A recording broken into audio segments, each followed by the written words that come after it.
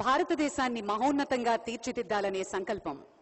సమస్త విశ్వాన్ని ఒక్క తాటిపై తీసుకురావాలనే వసుదైవ కుటుంబకం అనే నినాదం ప్రతిబింబిస్తూ నిస్వార్థమైన వ్యక్తిత్వం ఆయనకి పెట్టింది పేరు. మన ప్రియతమ ప్రధానమంత్రి శ్రీ నరేంద్ర మోదీజీ భారతదేశాన్ని మహోన్నతంగా తీర్చిదిద్దేటందుకు మన ప్రియతమ ప్రధానమంత్రి గారి మార్గనిర్దేశం ఓ గొప్ప పరిణామానికి దారి తీస్తూ యావత్ ప్రపంచం దేశాలంతా భారత్ వైపు చూస్తూ ఒక స్నేహ సంబంధం ఏర్పరచుకోవాలని ఆకాంక్షిస్తున్నారు. అత్యున్నత ప్రజాస్వామ్య దేశంగా స్వావలంబన వైపు పరుగులు పెడుతూ ఆత్మనిర్భర్ భారత్గా అగ్రస్థానంలో ఉంది. ఇది సాధ్యపడటానికి కారణం సర్వోన్నతమైన నాయకత్వం దూరదృష్టితో ఉన్న మన నేత. వరల్డ్స్ మోస్ట్ పాపులర్ లీడర్స్ మన ప్రియతమ ప్రధాని గౌరవనీయులు శ్రీ నరేంద్ర మోదీ గారు అమూల్య సందేశాన్ని ఇవ్వవలసిందిగా మనవి చేసుకుంటున్నాము. అభి హం అనురోధ్ కర్తే హే. हमारे प्रियति यशस्वी प्रधानमंत्री श्री नरेंद्र मोदी जी इस पावन अवसर पर हमें संबोधित करें।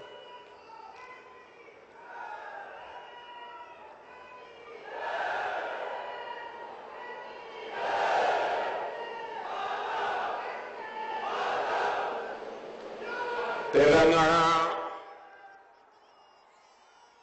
प्रजलन दरी की నా అభినందనలు तेलंगाना की governor Tamilisai Soundararajan ji केंद्रीय मंत्रिमंडल के मेरे सहयोगी नितिन गडकरी जी जी किशन रेड्डी जी भाई संजय जी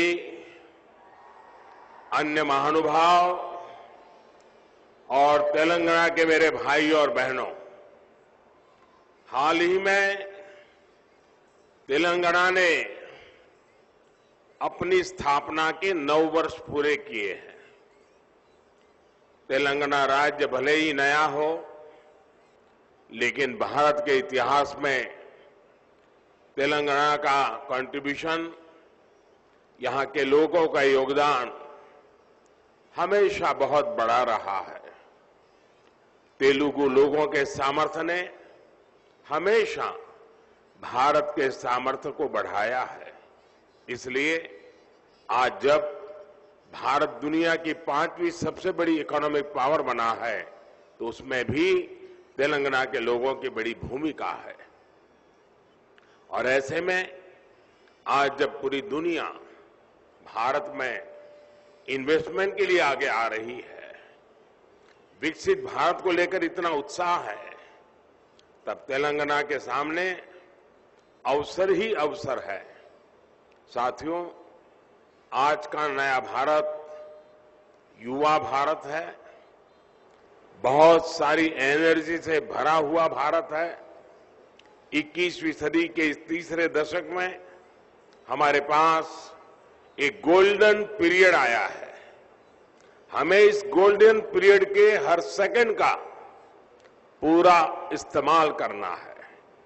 देश का कोई भी कोना तेज विकास की किसी भी संभावना में पीछे नहीं रहना चाहिए।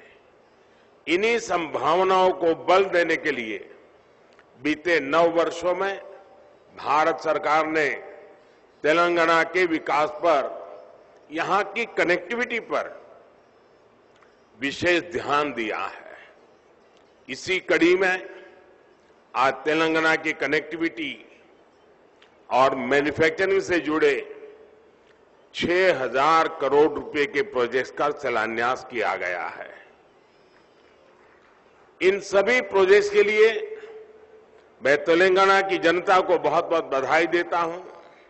साथियों, नए लक्ष्य हो तो नए रास्ते भी बनाने पड़ते हैं।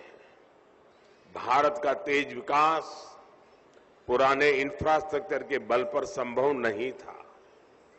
आने जाने में अगर ज़्यादा टाइम वेस्ट होगा लॉजिस्टिक्स अगर महँगा होगा तो बिज़नेस को भी नुकसान होता है और लोगों को भी परेशानी होती है। इसलिए ही हमारी सरकार पहले से कहीं अधिक स्पीड और स्केल पर काम कर रही है। आज हर प्रकार के इंफ्रास्ट्रक्चर के लिए पहले से कई गुना तेज़ी से काम हो रहा है। आज पूरे देश में highway expressway economic corridor industrial corridor एक जाल बिछा रहा है। टू लेन के हाईवे फोर लेन में और फोर लेन के हाईवे सिक्स लेन में बदले जा रहे हैं। नौ साल पहले जहाँ तेलंगाना का नेशनल हाईवे नेटवर्क ढाई हज़ार किलोमीटर का था, आज ये बढ़कर पाँच हज़ार किलोमीटर हो चुका है। आज तेलंगाना में 2500 किलोमीटर की नेशनल हाईवे परियोजनाएँ निर्माण के अलग अलग फेजेज में है। भारत माला परियोजना के तहत जो दर्जनों कॉरिडोर देश में बन रहे हैं, उनमें से अनेक तेलंगाना से होकर के गुजरते हैं। Hyderabad Indore economic corridor Surat Chennai economic corridor Hyderabad Panaji economic corridor Hyderabad Visakhapatnam inter corridor ऐसे कितने ही उदाहरण हमारे सामने हैं। एक प्रकार से तेलंगाना आस पड़ोस के इकोनॉमिक सेंटर्स को जोड़ रहा है। आर्थिक गतिविधियों का हब बन रहा है। साथियों, आज नागपुर विजयवाड़ा कॉरिडोर के मंचेरियल से वारंगल सेक्शन का भी शिलान्यास हुआ है। ये तेलंगाना को महाराष्ट्र और आंध्र प्रदेश से आधुनिक कनेक्टिविटी देता है। इससे मंचेरियल और वारंगल के बीच की दूरी बहुत कम हो जाएगी और ट्रैफ़िक जाम की समस्याएँ भी कमी आएगी। ये विशेष रूप से उन एरिया से गुजरता है, जहाँ विकास का अभाव था, जहाँ हमारे ट्राइबल कम्युनिटी के बहन भाई बड़ी संख्या में रहते हैं। ये कॉरिडोर मल्टी मॉडल कनेक्टिविटी के विजन को भी मजबूती देगा। करीमनगर वारंगल सेक्शन के फोर लेन में बदलने से Hyderabad, Warangal industrial corridor Kakatiya mega textile park और वारंगल एसईजेड की कनेक्टिविटी भी सशक्त होगी। साथियों भारत सरकार आज तेलंगाना में जो कनेक्टिविटी बढ़ा रही है, उसका लाभ तेलंगाना की इंडस्ट्री को हो रहा है, यहाँ के टूरिज़्म को हो रहा है। तेलंगाना में जो अनेक हेरिटेज सेंटर्स है, आस्था के स्थान है, वहाँ आना जाना और अधिक सुविधाजनक हो रहा है। यहाँ जो एग्रीकल्चर से जुड़े उद्योग हैं, करीमनगर की ग्रेनाइट इंडस्ट्री है, उसे भी भारत सरकार के इन प्रयासों से मदद मिल रही है। यानी किसान हो या फिर श्रमिक, स्टूडेंट हो या प्रोफेशनल, सभी को इसका लाभ हो रहा है। इससे युवाओं को, उनके घर के पास ही रोज़गार के, स्वरोजगार के नए अवसर भी मिल रहे हैं। साथियों, युवाओं के लिए रोज़गार का एक और बड़ा माध्यम देश में मैन्युफैक्चरिंग सेक्टर बन रहा है। मेक इन इंडिया अभियान बन रहा है। हमने देश में मैन्युफैक्चरिंग को प्रोत्साहित करने के लिए पीएलआई योजना शुरू की है। यानी जो ज़्यादा मैन्युफैक्चरिंग कर रहा है, उसे भारत सरकार से विशेष मदद मिल रही है। इसके तहत 50 से ज़्यादा बड़े प्रोजेक्ट्स यहाँ तेलंगाना में लगे हैं। आप जानते हैं कि भारत ने इस वर्ष डिफेंस एक्सपोर्ट में नया रिकॉर्ड बनाया है। भारत का डिफेंस एक्सपोर्ट नौ सौ वर्ष पहले एक हज़ार रुपये से एक हज़ार करोड़ से भी कम था। आज ये सोलह हज़ार करोड़ रुपए पार कर चुका है। इसका लाभ हैदराबाद स्थित भारत डायनेमिक्स लिमिटेड को भी हो रहा है।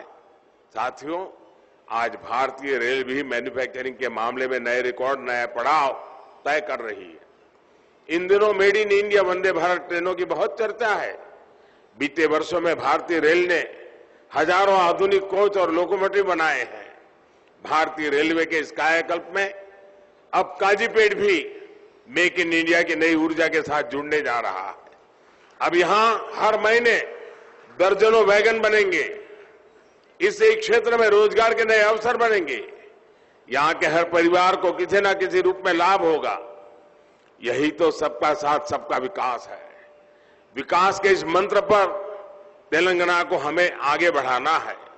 एक बार फिर आप सभी को इस अनेक प्रगतिशील कार्यक्रमों के लिए, आयोजनों के लिए, विकास की नई धारा के लिए मैं बहुत बहुत बधाई देता हूँ बहुत बहुत शुभकामनाएँ देता हूँ। धन्यवाद।